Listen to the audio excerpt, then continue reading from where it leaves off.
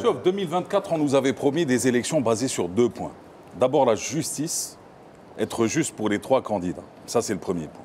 Le deuxième point, on nous avait promis des, élections transparentes qui allaient satisfaire l'électorat d'abord, parce qu'il faut respecter l'électorat qui s'est déplacé vers les, bureaux. Et ensuite, l'ensemble des, abstentionnistes ou les, ceux qui n'ont pas été votés simplement pour des raisons quelles que soient les raisons.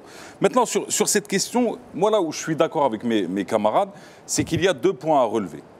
Le premier, c'est l'expérience démocratique. Effectivement, depuis, depuis une vingtaine, voire une trentaine d'années, si ce n'est pas pour dire depuis l'indépendance, c'est une expérience démocratique intéressante. Nous avons gagné de ce côté-là. Cette expérience démocratique doit nous amener aussi vers une réflexion. Et cette réflexion, c'est qu'elle doit être posée par des questions, des interrogations. D'abord, par l'échec, l'échec de l'ANI. Et quand on parle de l'échec de l'ANI, vous venez de l'évoquer. Est-ce oui. que l'ANI devrait exister en 2024 est-ce que ça ne devrait pas revenir? Je pose des questions. Oui. Je pose mmh. des interrogations. Après, à chacun de les, de les, comprendre comme il le souhaite, à chacun de les analyser mmh. comme il le souhaite, et à chacun de, de comprendre l'essence même de ce que je suis en train de dire.